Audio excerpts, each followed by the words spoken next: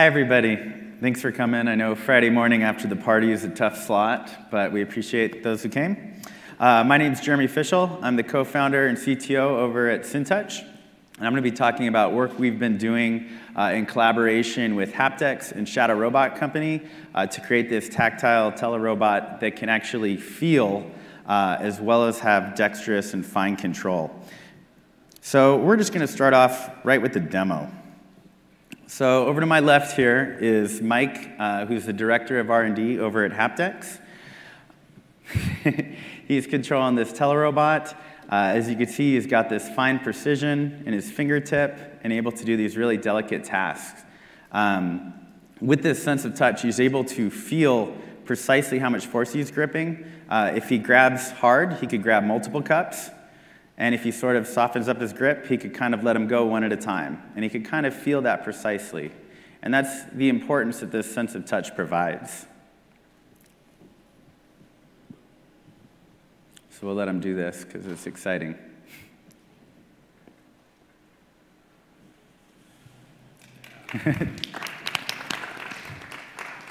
nice work. Thank you. All right, so did you want to do something else? We want to continue through? Go ahead and continue. Okay, cool. Let's switch back to the slides really quick. So, one of the key things I want to talk about today is uh, the role that touch and vision play in dexterity. Uh, vision's been very popular in robotics. Uh, it's common in machine learning, in AI-driven events. Uh, and I hope at the end of this talk I can convince you that the sense of touch is also incredibly important when it comes to dexterously manipulating and interacting with objects like Mike is doing. So Touch is uh, one of the first senses to kind of develop in infants. Uh, it's sort of what connects you with the world. It lets you sense what's you, what's your environment. Uh, it's one of the most primitive senses to evolve uh, through time. Uh, it's critical for physically interacting with the world. Today's robots have largely been lacking this sense of touch. Uh, and because of that, they can't do a lot of important things that we could do with the sense of touch. Uh, first off, and obviously, they can't qualify what objects feel like based on their sense of touch. We can't sense their texture, uh, if they're warm or cool, uh, different things that might be occluded by vision, we can't sense that. They also lack dexterity. So this is a picture I took a few years ago at uh, RSS when a PR2 robot was being controlled, uh, teleoperated by an operator who's trying to pick up this can of soup, and he actually managed to crush the can, which is something I can't even do. So uh, it's hard to control this fine manipulation without touch. Uh, and because we don't have touch, we need this sense of vision, which is necessary to compensate for not having any sensory input. Uh, on the bottom left, uh, you could see Jesse Sullivan over to the right. Uh, he's uh, a bilateral amputee picking up a plastic cup, just like Mike's doing, but he's got this intense visual focus so he knows when to stop without crushing it. Uh, also, vision's very common in a lot of robotics and uh, interacting with unknown environments. So, one video I'd like to show, and I hope people have seen this, this is from OpenAI. Uh, they're doing some amazing stuff using vision-guided dexterity. Here's uh, actually the shadow hand, which is the same one we're using on this telerobot from our collaborators, uh, manipulating this cube, all driven by vision. So we've got a camera in the top right. Uh, there's some goals being presented to it, uh, and it is learned through training how to manipulate that hand in a very dexterous way to get to these poses. So amazing work, no touch required. Contrasting that with humans with the sense of touch, this is uh, Felix Zemdegs, who uh, holds the record, or I think he's a former record holder for solving the Rubik's Cube. So, amazing dexterity made possible with the sense of touch.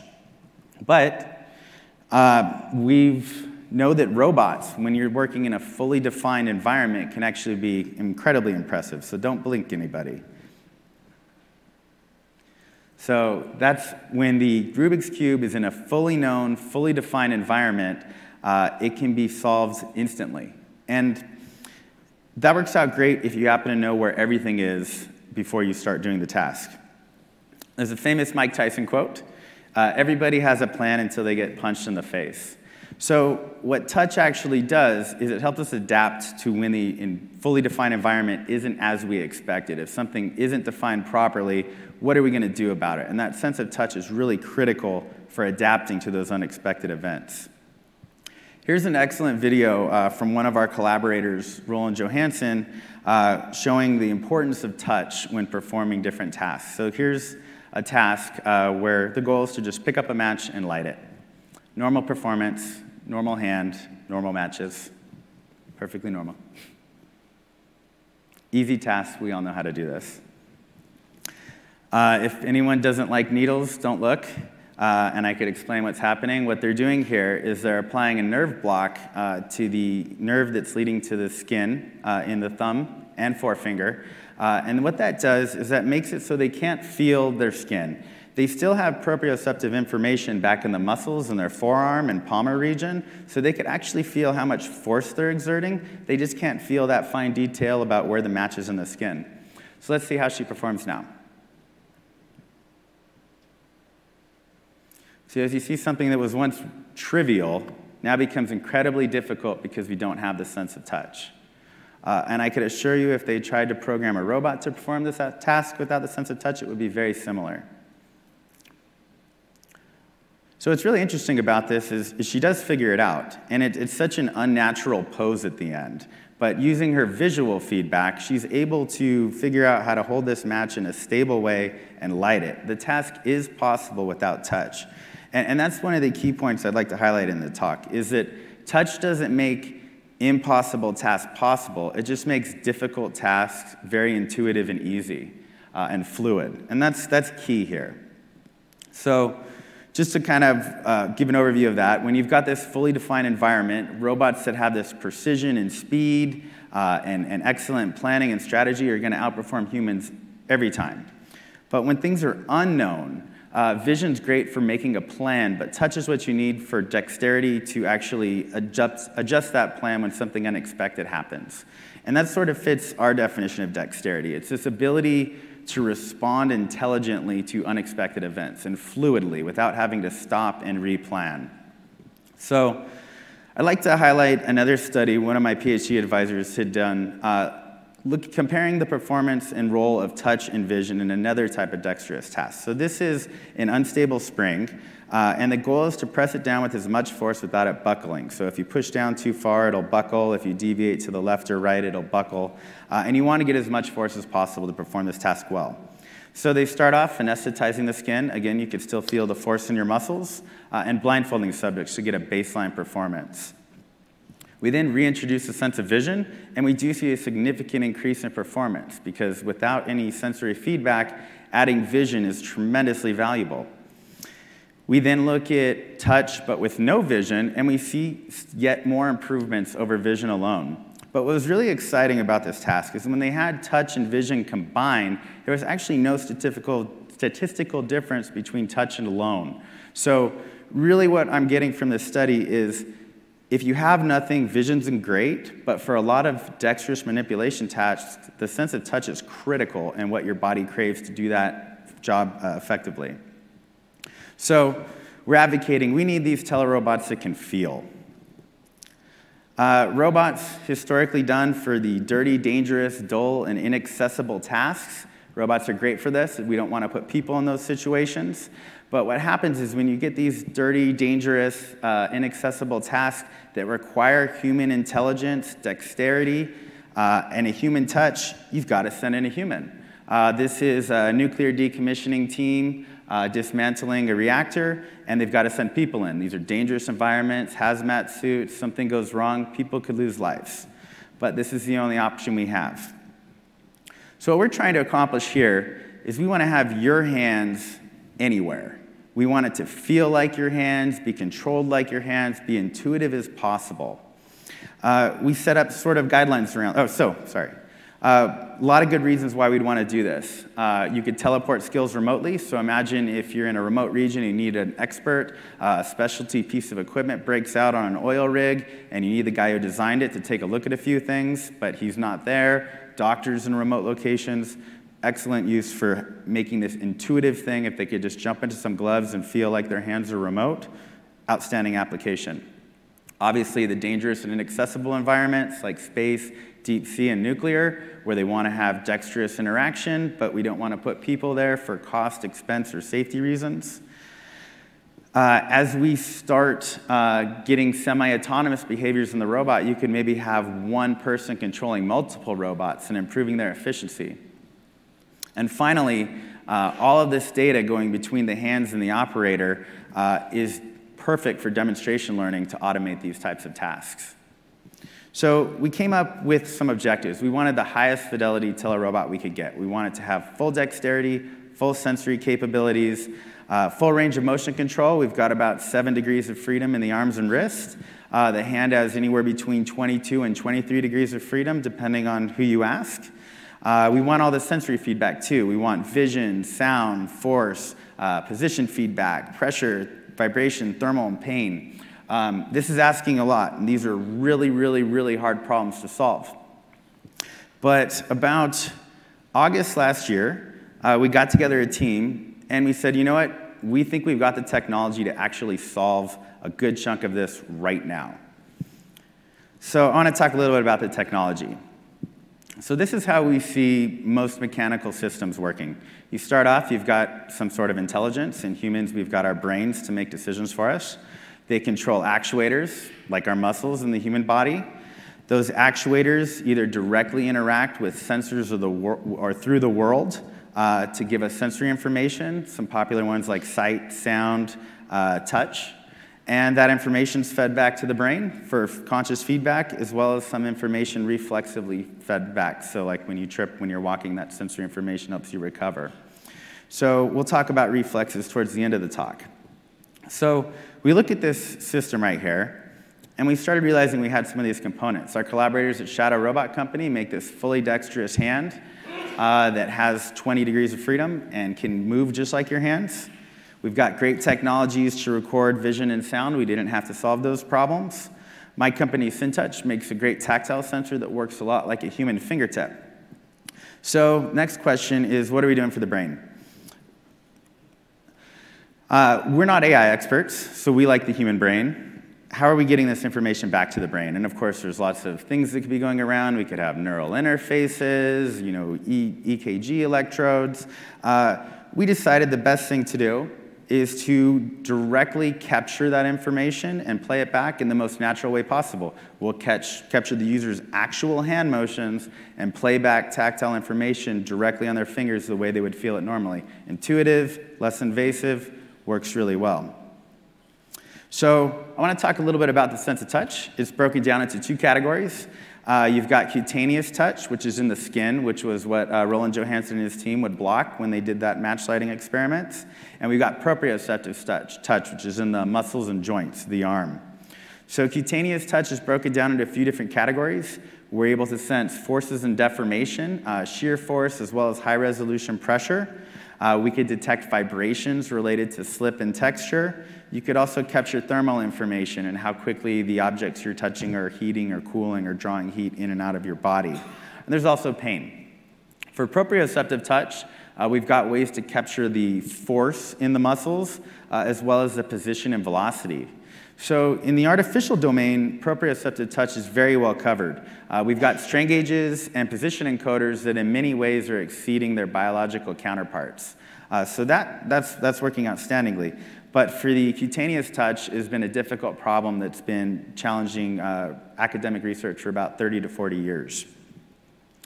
So, my company, SynTouch, makes these tactile sensors that work like the human fingertip.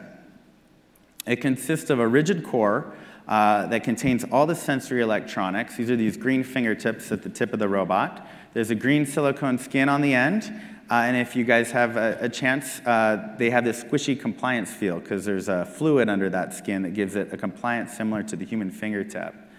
Uh, the robust and easily replaced uh, skin, we've actually done it twice this week, uh, so I can confirm that they're easy to do with minimal tools. And it's got these three sensing modalities force, vibration, and touch. Uh, so the way the BioTac senses force is forces applied to the surface of the skin deform the skin and fluid. Uh, and we've got this array of electrodes on the surface of the core. So as that skin and fluid deform, the electrical uh, resistance between these electrodes is changing. And we could actually measure that information in terms of where it's being touched. Uh, and we could even extract shear forces, radius of curvature information from that rich electrode data.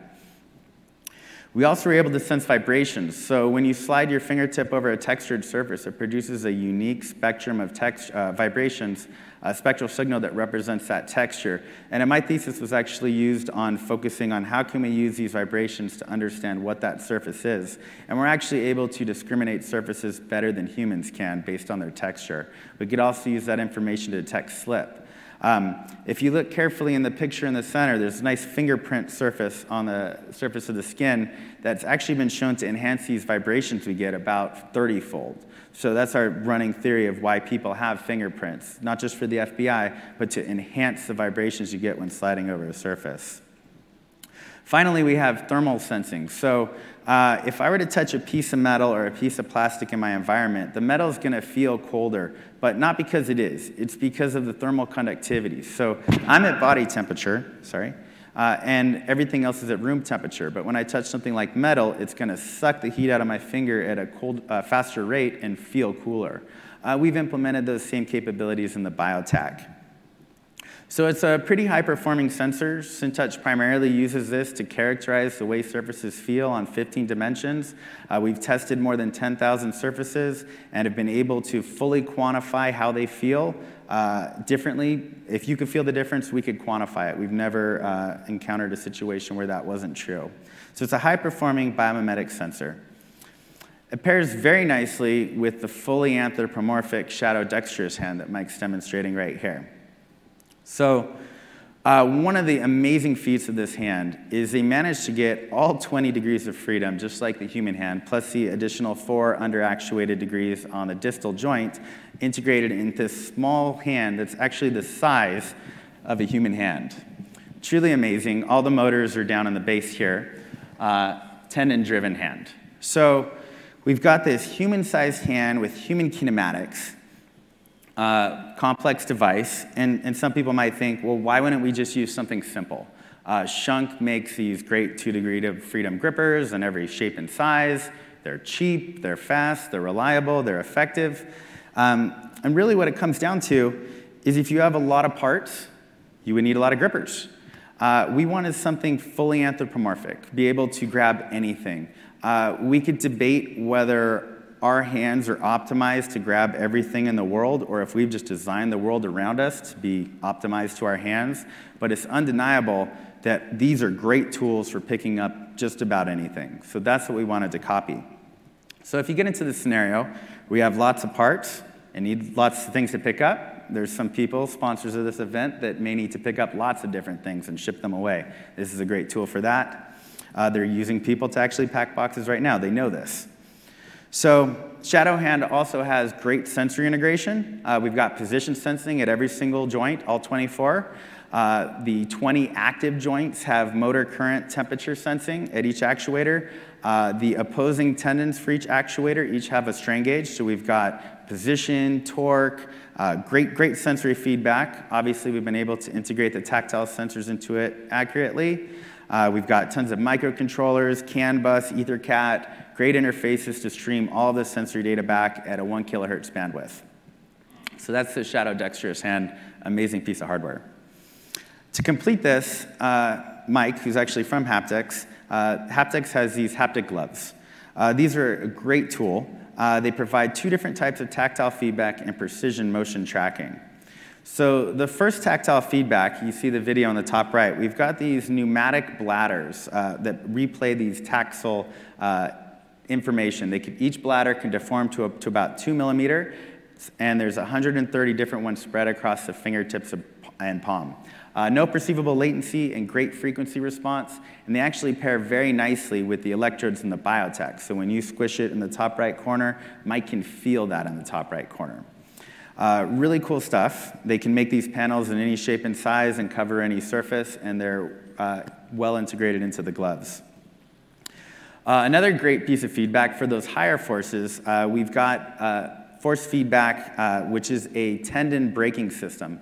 So essentially what this is, is like admittance braking. We're not actively controlling the force, we're just stopping the finger from advancing. And that could go up to about 18 newtons of resistive force. Uh, you could either vary that so it could slip a little with the clutch or lock into place. And that's what allows Mike to be able to feel the shape of an object, a rigid object that he's squeezing. Finally, what's outstanding since we're using pneumatics uh, and tendons, there's no metal in the fingertips. And that gives them outstanding magnetic motion uh, tracking. So they've got a magnetic source in the uh, knuckle area and sensors in each fingertip. And since there's no magnetic interference, they've got outstanding motion tracking with sub-millimeter precision on all six degrees of freedom. Uh, occlusion-free, works outstandingly well, uh, and we'll demo that in a little bit too. So those are the haptic gloves. So we've got this great hardware going together to fill this hard, uh, the model that we have.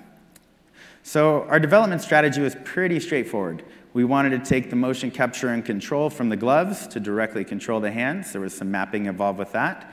Uh, the sensors, we mapped that tactile data directly back to the hand, uh, and we mechanically and electrically integrated the sensors into the hand so that everything tied together quite nicely. What made this uh, project really exciting and challenging is this was done across the globe. So SynTouch and HaptX, Mike and I's company, are in California. The robot hand and the arms were in London. So we did a lot of development with the gloves in California, over the Atlantic, controlling the hands in London. Uh, we were sponsored by ANA, who's in Tokyo, which made conference calling absolutely horrible. Uh, we always had the worst time slot. Mike and I would be up at midnight for that one because it's eight hours each way. Um, so why have an airline involved in any of this, right? It seems like a suspicious partner for three small robotics companies. Um, it's really interesting. So the airline's business model is to transport people from A to B. And only 6% of the world travel. That's a really interesting statistic we learned from that. Uh, only 6% of the world travel, and this is 94% of the market that's ripe to be opened up transporting people to remote locations. So they're really interested in this. Uh, it fits their business model well. So we built this outstanding proof of concept. Uh, one of the first things we had to do, of course, working across the globe is type out hello world, right, on a keyboard. Um, we're going to invite Penny up on stage and, and, Jeff Nunn to kind of demo the capabilities of the sensor. Uh, why don't you guys walk through a few things? Cool. Cool. Great. So Jeff, I'm going to want you to... Pleased to meet you. Shake his hand first. How's it feel? Awesome. I love that. Natural. Natural. Weirdly natural. Weirdly natural. So we want to demonstrate to you that he is feeling in his fingertips. So I'm going to get him to blindfold himself, and I'm going to get you to touch any finger, and he's going to wiggle it. Ring finger, middle finger, index. Nice. Cool. If you push back on the finger, so go ahead and push up on the index finger, or ring finger, yeah, or any finger. So, just push on his finger my fingers, yeah, I good, just push. There you go. Just keep pushing. Yeah. So my fingers will lock in place to wherever you place it. So he's yeah. placing force back on you. Just like that, yeah. Releases. Um, um, what would you like to do? Oh, fist bump, totally. Trying to do. You can have a head massage if you want. Oh, I'd like the back massage, actually. Back massage? Yeah. oh perfect. you tussle your hair a little bit. That's great. Cool, thank you. Thank you. Want to get the backpack? Yeah. So it's really key here. Since we've got touch, we could do things that were really difficult to do without vision. Or sorry, without touch. With very difficult to do with vision alone. Put your hands back. This is Penny's bag. She's leaving today, so might be some personal items in there. Do the TSA job. which, which pocket am I opening? Which pocket? Which pocket? The big one.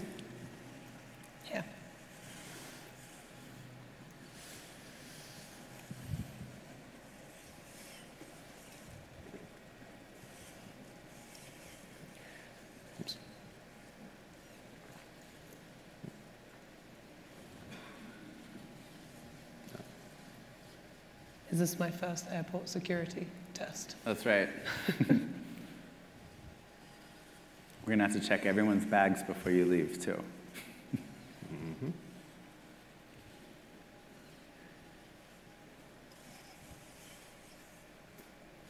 Wow. You packed this really well. Hmm? You packed it really well. Oh, sorry.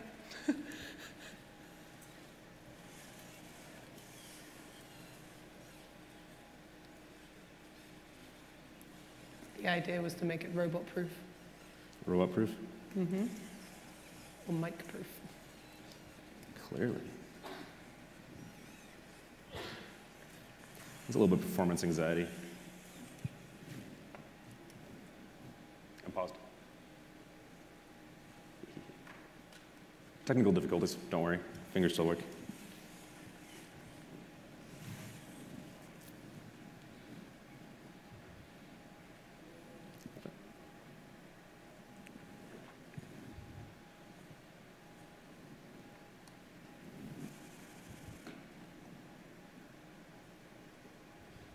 So the system does have protective stop, prevents me from slamming through the table.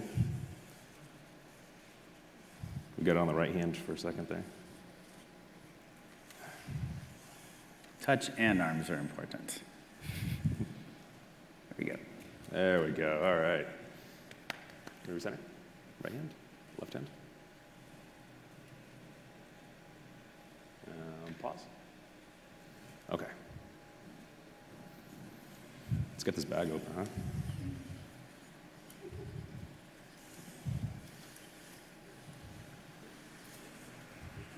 Yeah, there's fragile stuff in there. Don't throw it off the table.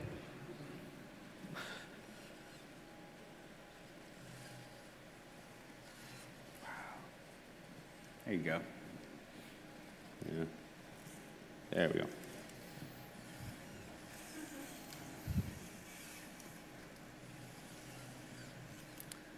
Far over to the left.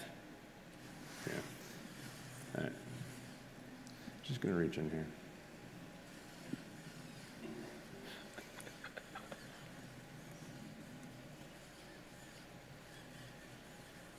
Do you want a hand?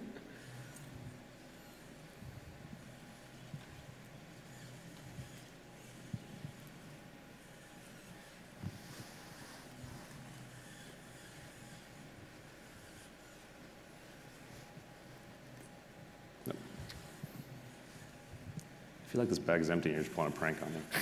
Can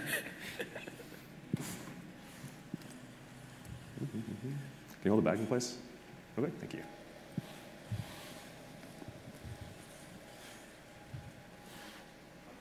Uh, yeah, yeah, both.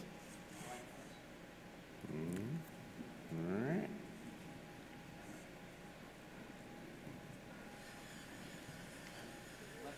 Uh-oh.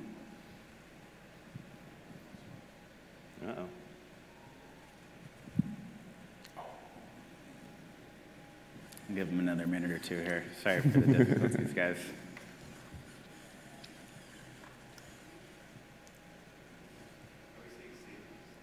Yeah, What's that? Yeah, it's, Yeah. Uh, it's the safety plane. So we moved and had an hour to set up up here. So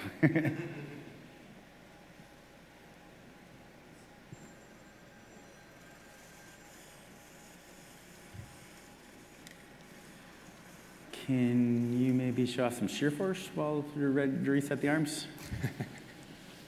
So another thing that he could feel too is uh, when you apply shear force to the fingertips, he could tell which direction we're sliding. Uh, yeah, if you want to push on one of the fingers one way, and Mike will tell you which way it's sliding. Slide it. Yeah. You're sliding that way. yeah, nice. Yeah. Um, So since we've got this high fidelity tactile feedback, not only can he tell where you're touching, uh, but we could also tell which direction you're sliding, which is actually useful for a lot of You're these sliding that way. dexterous Yeah. tasks in a very subconscious way. Do we want to? You're sliding that way. Let's keep going, and you guys can reset that while I keep talking about sights. So we'll get back to that demo at the end while they reset the arms. So uh, one of the questions, why, why do any of this? Why build this high-fidelity tactile telerobot? So um, what, are, what are the next steps for us, too, or, essentially where we're at? So we've got this full system. This is what it looks like today. Uh, we're able to directly control the hands, feel what the hands are feeling, and play that information back to the operator. Uh, some of the next steps we'd like to add is uh, reflexes. Can we have these autonomous behaviors locally in the hand so they could enact, uh, react intelligently?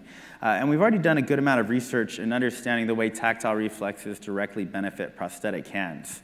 So this is uh, some work we've done incorporating fragile grasping reflexes into prosthetic hands. We've got these uh, compliant tactile sensors in the fingertip that are able to detect when they collide with an object and have an inhibitory reflex that prevents the operator from crushing the object unless they don't want to. Uh, so what you see over there on the right, uh, we compared the performance of the subject's sound side unamputated limb to move 10 crackers, uh, quick and fluid. Uh, over on the left, we've got the prosthetic hand with the reflex. You can see it's also fluid. Uh, and in the middle is a normal prosthetic hand uh, with no tactile reflexes at all. And you see there's intense visual concentration required to complete the task. So what we generally find is for the sound side hand, 10 objects take about 10 seconds to move, regardless of if they're fragile or rigid or what they are. Uh, it mostly depends on how far you have to move them. Uh, with this prosthetic hand, when we introduce these reflexes, it's about 16 seconds compared to 28 seconds with their prosthetic hand without reflexes. So, like, we've recovered about two thirds of the disability of losing their hand by adding these reflexes in towards the natural human performance.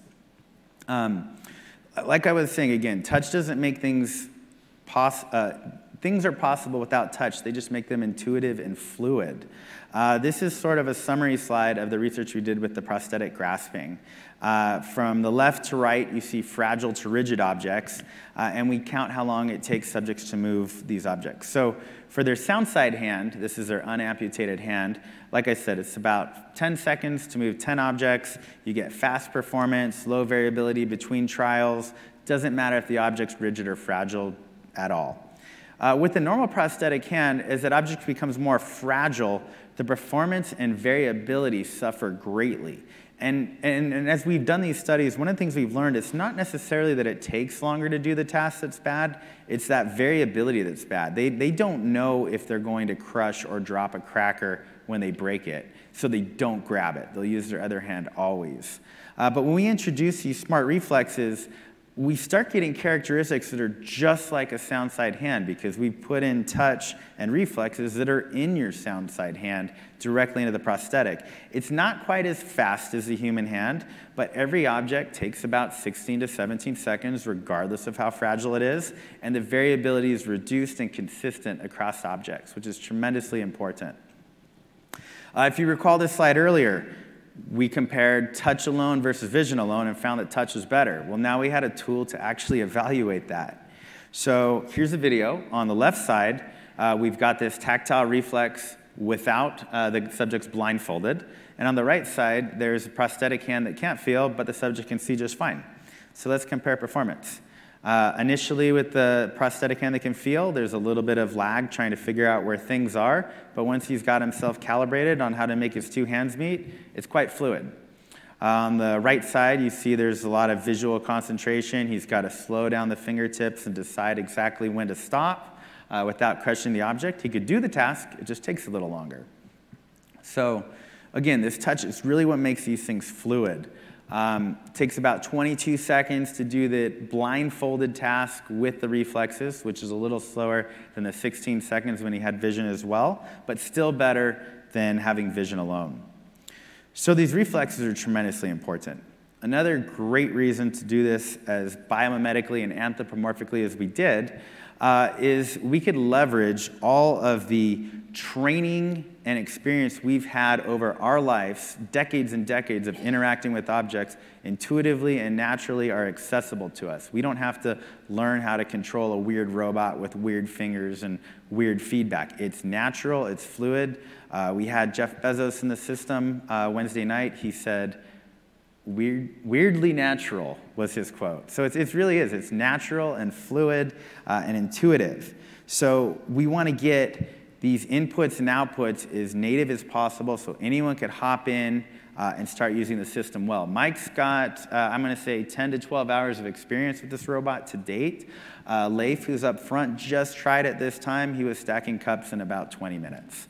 Uh, some people get it right away, uh, it's, and it's truly amazing. But what I really want to point out here is again, touch isn't essential to do tests. They do surgery without touch. I can't even do surgery right now. Trained surgeons can do surgical, surgical procedures without touch. It just requires a lot of training uh, and this mind's eye experience. In fact, uh, there's some case studies going on right now that they're, they're finding out that surgeons who initially did the laparoscopic surgery, which is operating these tools with their hands, they could feel what they're doing. When they translate to robotic surgery where, without that sense of touch, they've got this mind's eye of what things feel like, and they're more delicate with the tissues than newer surgeons that are jumping straight into the, the teleoperated surgery without laparoscopic experience. So, uh, touch definitely benefits the training uh, that goes into these systems so you could create this mind's eye of what things feel like based on what they're looking at. But again, you have to move very slowly, uh, and that visual feedback's used to not dexterously interact with things, but replan. Something goes wrong, you look at the situation, you create a new plan, and you execute. We see it in the crackers. If he goes too far, or if he goes, doesn't go far enough, he stops and makes another small movement. And rather than this fluid grasping, it's plan, plan, plan, execute, plan, execute, plan, execute. Takes a lot more time, but it is possible. You can do surgery. So, telerobots without touch, you need a lot of training, surgical training to do these things well. There's a tremendous amount of preparation time before uh, performing an operation, more than just a typical surgical operation that you do with your bare hands. Uh, and you have to be careful and slow tremendously expensive, and it only makes sense for the most inaccessible and dangerous task out there. Um, we're hoping that by introducing telerobots with touch, we can make this intuitive and natural. Uh, anyone jumps in, they've got their intelligence and dexterity at their fingertips, uh, matched, matched with this robotic uh, ability to be in dangerous and inaccessible environments. So, tremendous power here. Finally, uh, as you can see, Mike's performing these outstandingly dexterous tasks. He can feel the hands, he could control them with precision. Uh, we've done this with a headset, so he could do it all through a camera. We could have him off site. We've done it with a robot in London, and he's in San Luis Obispo. All of that sensory and control data is digitized, which makes it outstanding training data to learn how to automate a task. Just an existence proof. If he could do this task with that data stream, we should be able to learn it. Uh, that's not our expertise. If any of you guys are strong in that area, we'd love to talk to you and see where this could go in the long term. Um, but that's generally where we're at, and I think this has a lot of power.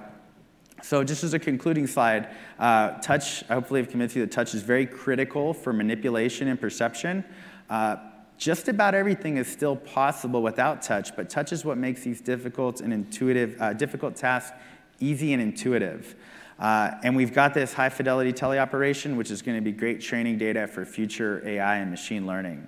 Um, this wouldn't have been possible without an amazing team. Uh, there's about nine of us here right now sitting up the front row. I'd like to thank them. This has been one of the funnest projects we've worked on, I've worked on in many years.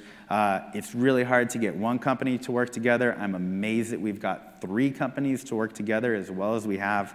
Uh, it's been an amazing experience. Uh, and I'd like to end before a final demo on a note. So, as we're controlling this robot in San Luis Obispo, uh, the robot's in London, we're in San Luis Obispo controlling it. Obviously, the very first thing we've got to type across the world is hello world on a keyboard that's in London. Of course, very, very first time, uh, we are running yeah, into some that's, problems. That's something strange, isn't it? Get some latency issues, control. We haven't quite worked yeah. out those bugs. Yeah. But we pause, wait for things to reset. Mike gives Yeah, it it's not another tracking go. at all right now. So this is the very first transatlantic message typed Uh, via Telerobot. For those of you who know the layout of a US keyboard, Okay. maybe you'll get the punchline. very first message. Kind of over pushes here in a second. Whoa.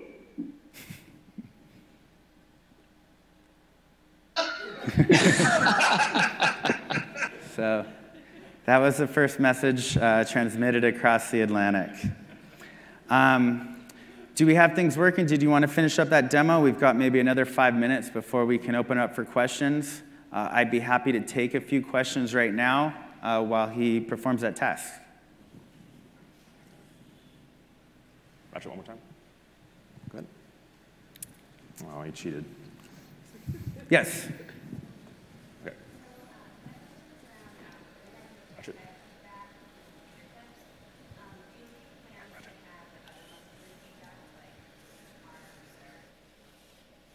So the question was, do we have any plans to have, uh, did you say muscular feedback or tactile feedback? Like grounded force feedback? Um, that's something that was on the longer term timeline. Uh, this demo was mostly comprised of stuff we have today. So this is all equipment that existed prior to that.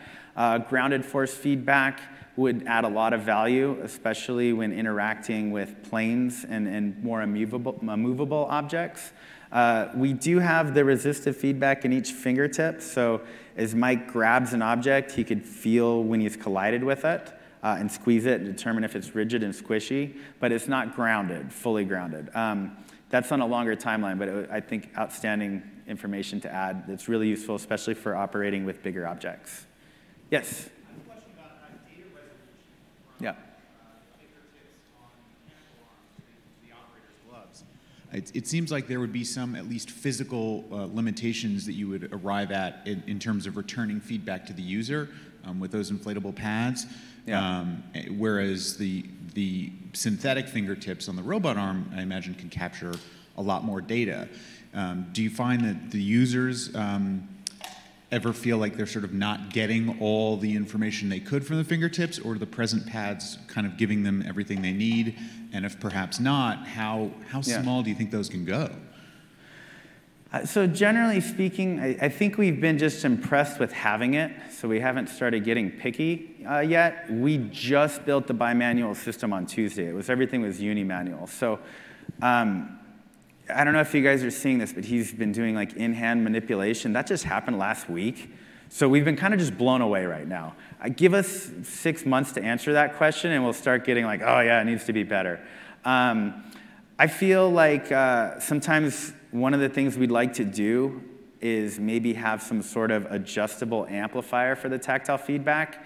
Because sometimes when we're doing something delicate, we feel like it's not strong enough, or we're doing something rigid, it feels like it's triggering too early. Uh, so the, the, the range of tactile feedback that is. So it'd be really cool to be able to adjust like, like, a, like a volume knob that you could turn up and down. Like I want to turn up the touch volume and feedback. Um, that would be the first thing I'd fix. I'm pretty happy with the resolution in terms of how it's distributing. You could feel it rolling around your finger quite well. Uh, I think it's overkill for what we need. Um, if I were to make improvements, I think the thing we need to do is to get more tactile coverage on the hand. These gloves are equipped to display uh, on the palm too, and we don't have sensors on the palm. So that would be the next thing. Um, Mike can do this great in-hand manipulation. Um, he's gotten pretty darn good at this. But the rest of us, when it drops down to the palm, it gets tricky because you can't feel. It's easier for us to do it upside down so it doesn't drop into the palm. Mike's just amazing at this stuff. So, uh, but that's what I'd say next. I'd get the, I get more coverage before I start adding resolution. Yeah. Yes.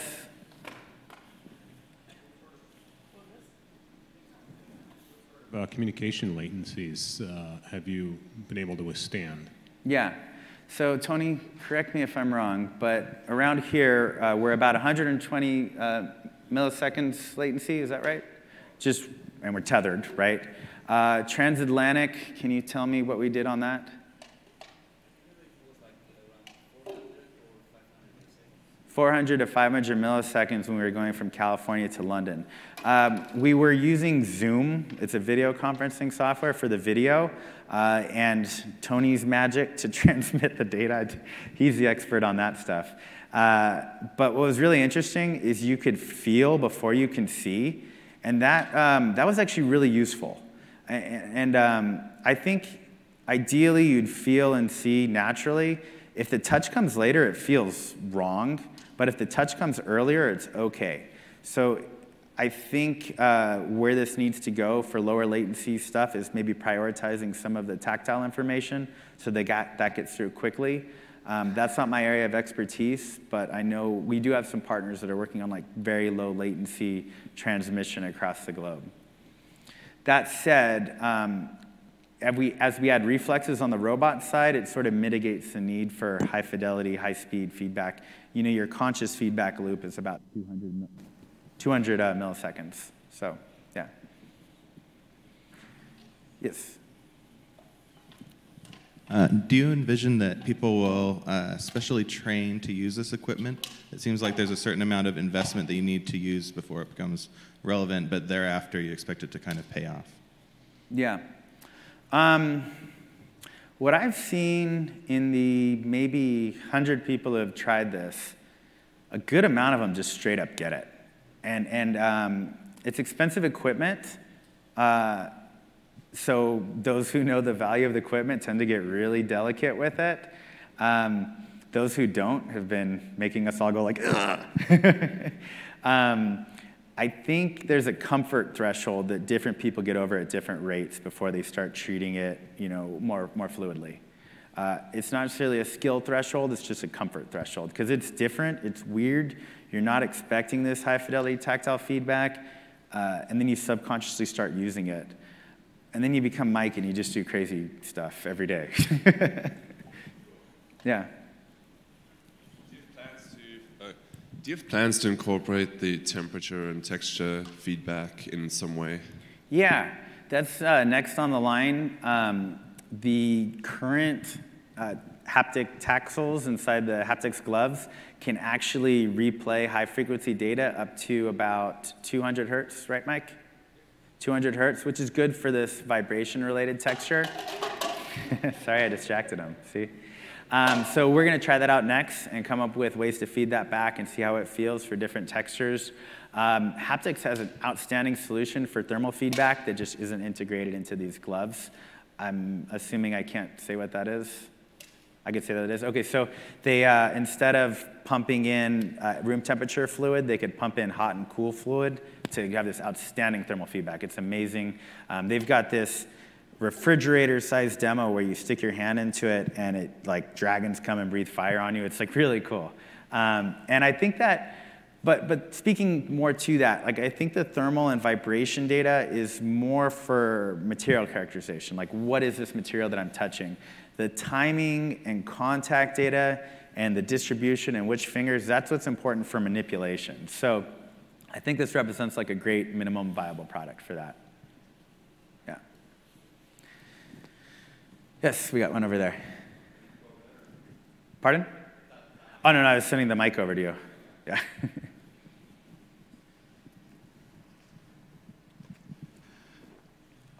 Uh, correct me if I'm wrong, but um, if I recall correctly, part of perception is that you get a sense of where your body is in relation to other objects in space, like integration with vision. I got uh, the impression that y'all consider perception to be kind of a solved problem. Um, are you able to sense where the hands are in space? And if so, does that cause, does your natural perception like cause any interference? Yeah. So good question, and, and, just to reiterate, the question was on proprioception and how, how the operator can sense that? Okay, so um, if you noticed in the beginning, uh, the way we did that is we tried to align the robot and the operator naturally. So uh, when we had that problem earlier with the arms, what he did, he would bring one hand up here, he'd move the other hand up here, and then he would match the pose, uh, and that keeps the calibration. So there's also that visual feedback to make sure that Visual is pretty key in sort of uh, uh, uh, fixing for any drift in your proprioceptive feedback. Uh, and then also, you know, when you move the hand forward, when you move your hand forward and that hand moves forward, it's pretty intuitive. Um, that was solved with some pretty clever mapping, and I think it was a bigger problem in the exact fingertips. You want the fingers to match the pose. Uh, Tony, our rock star at the end, solved that uh, with some really good mapping of the hand prior to just a week ago, you kind of had to do weird things like, okay, my thumb needs to move forward, and your hand would get into a, a, an awkward pose to match a grasp that you wanted. But now it's really good. So you just, it, it matches your hand pretty fluidly. Uh, and rather than thinking about how to move each finger, you're thinking about your hand as one thing. You know, I want this kind of grasp, I want that kind of grasp.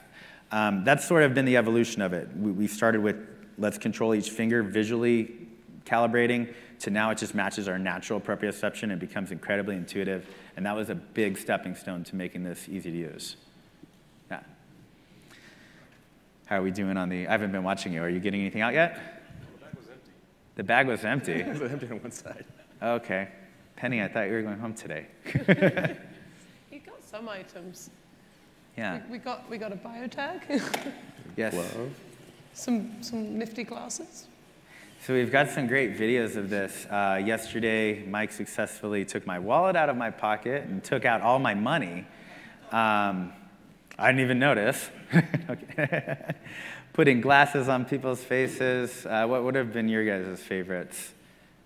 Uh, he takes the Rubik's Cube out of the box and solves it. It was kind of set up to be easy because none of us know how to actually do that. Uh, and then put it back in the box and close it. Um, we've got this great video of him like flipping around a floss container and spinning it.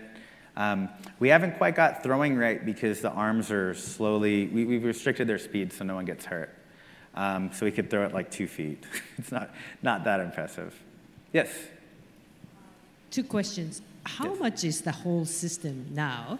Yeah. And then another question is, um, if you are, you know, he's right now seeing with a bare eyes, but if you were to put any uh, camera in remote uh, place on, on the uh, robot, where is the ideal place?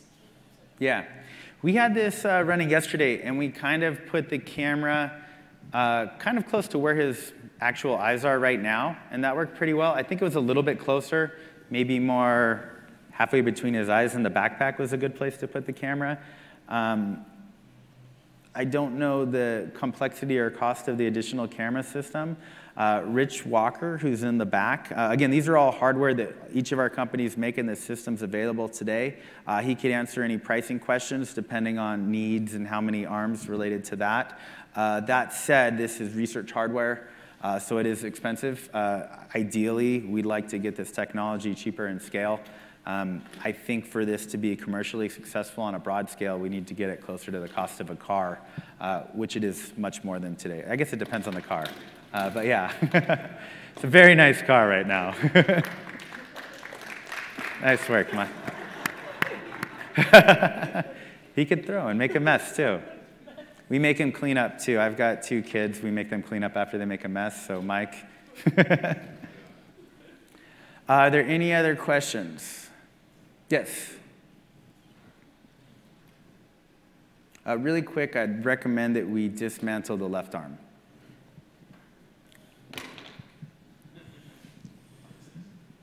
Yeah, I, uh, very impressive uh, teleoperated manipulation. So I, Thank. I'm thinking about autonomous uh, dexterous manipulation as the, yesterday Professor Goldberg, Yeah. Ken Goldberg uh, presented. Yep. So uh, I think uh, it is more possible that because you have a very wonderful sensors and uh, feedback at uh, uh, the master glove, but uh, what do you think about, the, uh, and what is your plan to make, autonom- make it autonomous manipulation Yeah. based on the machine learning and reinforcement? Yeah. So uh, Ken Goldberg was on the bus to the party with us, and we talked about it, and that's my plan.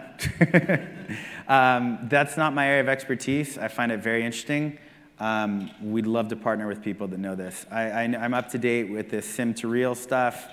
Um, so just to clarify that to the room, these are people that are creating models of robot environments, simulating multiple interactions, and trying to figure out best solutions for that, and then applying it to real robotics. I kind of think it'd be cool to use a system like this to go real to sim to real, where you're kind of gathering information about what that real environment is, simulating a lot of iterations, and then applying it back. Again, I'm not qualified to say if that's a good idea or not.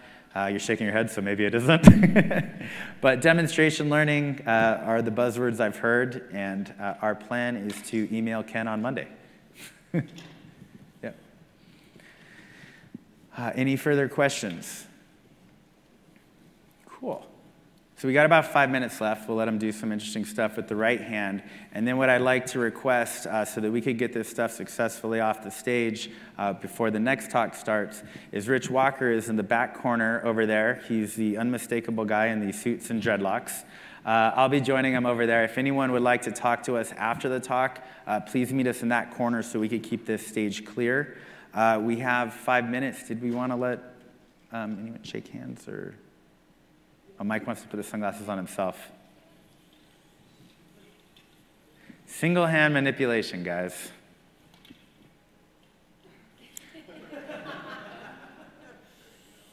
That counts. They feel the same. That's what's amazing. You can't even tell the difference anymore.